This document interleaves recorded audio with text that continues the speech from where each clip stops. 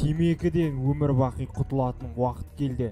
90 жылдардан бері тибет шөбі осы күнге дейін танымал болып келеді. Тибетский сбор ол ортадағы нерваның темекіге деген тәбетті құртады. Өкпедегі лас залалдан тазартады. Шаршаңқы болмайсыз. Сіз уақыт өте келе темекіден қалай құтылғанын байқамай қаласыз. Үш аптаның ішінде сіздің организміңізден 99 пайыз никотин токсин және шлактардан тазартады. Тапсырыс беру үшін жерге басамыз. Бірге интернет дүкеніне кіреміз иә атымыз жазамыз телефон номерімізді жазамыз оформить заказ дейміз. Алғашында балалар балабақшаға әртүрлі үйреніседі. Көбінесе балалар балабақшаға жаңа жағдайда еш дайындықсыз келеді. Олардың көпшілігі ботқа жеуге сүт тағамдарын жеуге яғни өз бетінше тамақтануға бейімделмеген болады. Ал балабақша бейімдеудің өзіндік шарттары болады. Күн тәртібіне тоқталайық. Баланың жаңа ортаға қалай бейімделуі үйдегі күн тәртібіне байланысты баланы туғаннан белгілі бір уақытта ұйықтатып ұйықтар алдында ауа тазартып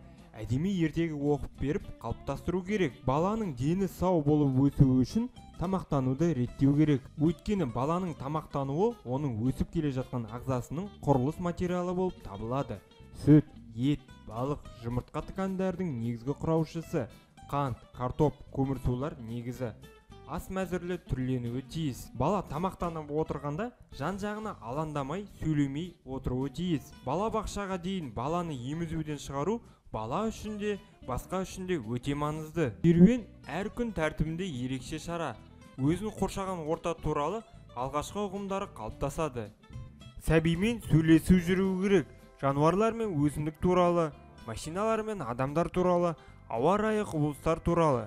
Өз бетінше іс-әрекет ете алу мүмкіндігіне байланысты әр бала бейімделу кезіне қандай көңіл күйде өтетінін назар аударыңыз. Бала бақшаға келер алдында осыларды бала бойында қалыптасуға тиіс.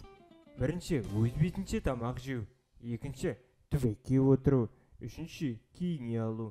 Төртінші барлық мәдени гигиеналық қабілеттерге оң көзқарасты болуы отбасы жағдайында керекті гигиеналық қабілеттерге үйреніп қалыптастырылса бала да жаңа ортаға тез бейімделеді. Ол үшін ата-ана таңғы және кешкі жуынуды киім кию ретін дастархан басында өзін қалай ұстауды үйретуі тиіс. Оның ішінде түбекке сұрану әжетханадан кейін қолды сабынмен жуу астан кейін сүрткіштерді пайдалануды үйрету бәрінен де маңызды. Достық бұл ғылым.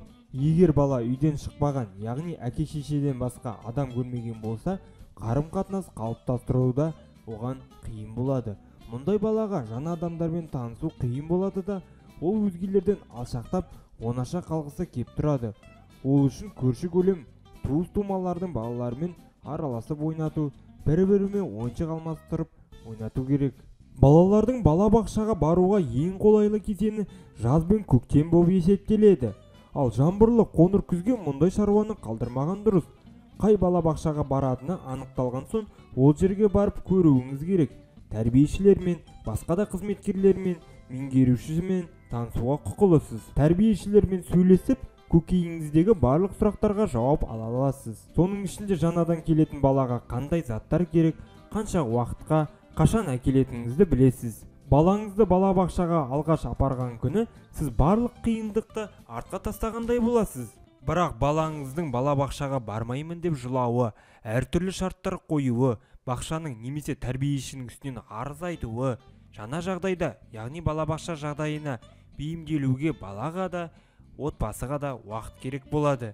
Бейімделу кезеңі жеңіл ауыр өте ауыр деген үш түрлі болады. Сәйкесінше ол 2-3 ай көлемінде өтуі мүмкін. Кей балада ерекше жағдайда 4-5 айға созылуы мүмкін. Осындай кезде бақша қызметкерлері мен отбасы мүшелері арасында тығыз байланыс орнауы тиіс. Балаға балабақшаның қандай болатыны ондағы күн тәртібінің қандай болатыны туралы айту керек.